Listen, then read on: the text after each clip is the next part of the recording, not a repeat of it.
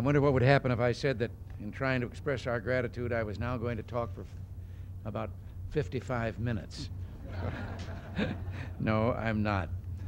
But the 444 days of the hostage crisis were trying times for this country, and they were not a time of which any world citizen can be proud.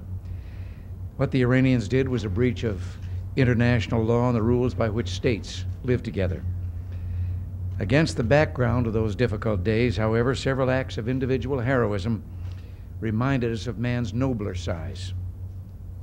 There was the courage of those participating in the daring rescue mission, some of whom gave their, whom gave their lives. We're today honoring another act of courage, this one with a happier ending, in which the courage and ingenuity were rewarded by success after 79 days. I'd like to sketch briefly the events of those 79 days to describe not only Ambassador Taylor's courage, but also the contribution of all the Canadian Embassy personnel in Tehran and the Canadian government in Ottawa. Four days after the storming of the American Embassy, Ambassador Taylor received a call from five Americans who had escaped from the embassy when it was overrun.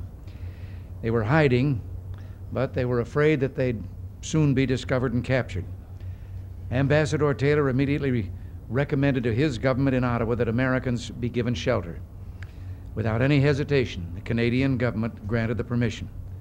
Two days later, the Americans were taken to Ambassador Taylor's residence and that of another Canadian embassy family, the John Sheardowns. Two weeks later, another American joined his five compatriots. For 79 days, they lived there pretending to be visitors. I understand they're the best read and the most skilled Scrabble players in all of North America. There were several tense moments in the weeks that followed. At one point, an article was imminent in a Montreal paper which would have disclosed the story of the sheltered Americans. In an admirable display of responsibility, the journalist who had written the article agreed to withdraw it from publication. However, from this article, and more immediately from an anonymous phone call to the Taylor's residence asking to speak to the two, escape, two of the escapees, Ambassador Taylor knew that the chances of his guests being discovered were high. At this point, the Canadian government in Ottawa and the embassy began an ingen- the ingenious preparations for an escape.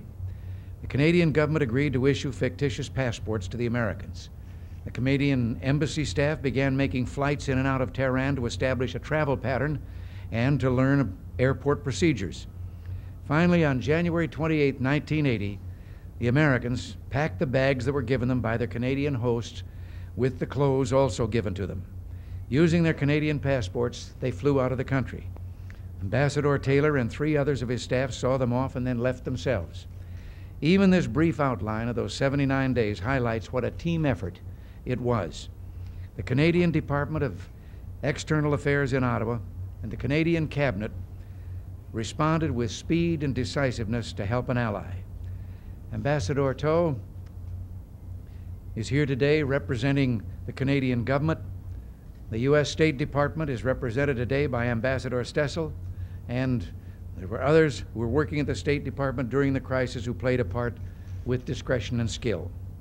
And here today also is Representative Daniel Akaka, the sponsor, and several of his co sponsors of the legislation which resulted in the gold medal which I am going to present today. Also present today is Lee Schatz, one of the six whom the Taylors rescued, as well as Bruce Laingen and Victor Tomseth, who had to wait a little longer before they could come home. Mrs. Taylor is here with her husband and was directly involved with him in, his de- in this deed. She shared the risks, she did much of the work. It was at her residence that several of the Americans were actually staying. And finally, it's my great honor to present the medal to Kenneth Taylor, whose valor, ingenuity, and steady nerves made possible this one happy chapter in the agony of those 440 days of hostage crisis. The medal is inscribed by Act of Congress, March the 6th, 1980. Entre amis, appreciation for the noble and heroic effort in the harboring of six United States diplomats and safe return to America. Thank you, Canada. Ambassador Taylor, it's a great pleasure to present this medal to you on behalf of the American people who are grateful to you and grateful to our neighbor, Canada. Thank you.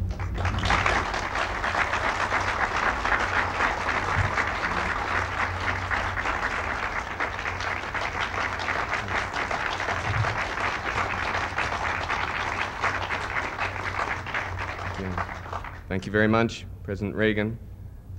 Very honored to receive this recognition on behalf of all Canadians who participated in whatever we could contribute to the welfare of U.S. citizens. I think what I'd like to say is best expressed by Honorable Frank Annunzio, chairman of the committee, during the course of Representative Akaka's resolution. That is, he said, to me, the medal represents the gratitude and thanks of every American, not only to Ambassador Taylor, but to his staff, the Government of Canada, and indeed every Canadian. And it's in that sense that I'm very honored to receive the medal. At this time, it's a very perplexing and unique situation to be a diplomat. At the same time as serious questions have been asked as to the validity of the career as opposed to earlier times, there are some who are challenging the very right of diplomats to convey their country's message and attempt to create international disorder such as we experienced in Tehran. It's therefore very reassuring and a sense of pride to all diplomats to have seen the dignity and professionalism with which U.S. citizens in Tehran conducted themselves and also the unselfish courage and heroism of the eight who lost their lives attempting to right the balance. The presentation of Congressional Gold Medal, President Reagan, is not only means a great deal to myself, my family, but I think it underlines the very unique, the very special relationship between Canada and the United States. The United States faces the rebuffs of history with patience, determination, and a search for justice. For this, you have gained the everlasting respect of all Canadians. Moreover, your generosity, great generosity to all, your tolerance submits and cements the long lasting and precious friendship which Canadians and United States citizens share. Thank you again for this recognition. I speak on behalf of Canada, and I can say and sum it up that we're very fortunate and we'd relish that and cherish our neighborhood relationship with you. Thank you again, Mr. President.